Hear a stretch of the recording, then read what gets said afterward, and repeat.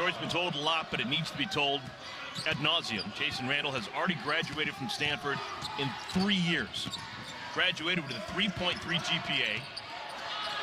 Currently in the Department of Psychology Master's Program, and he's got a block shot. He blocks Derek Woods' offering, and Stanford chance to expand their lead.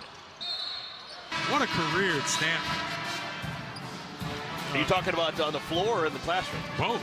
And, and what he does in, in the summers in terms of counseling uh, troubled youth. So this is a, a tremendous player, but a better human being. And you mentioned it right there, Eric. Kept that left pivot foot still.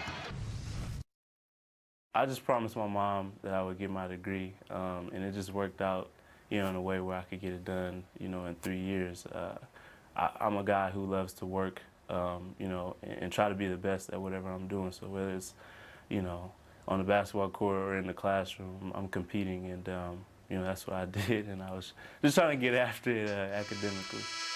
Well, he gets the headlines for what he does on the basketball floor, but what he does in the classroom is so impressive. You guys played at this level, trying to not only graduate, but do it in three years wow. while you're playing at this level.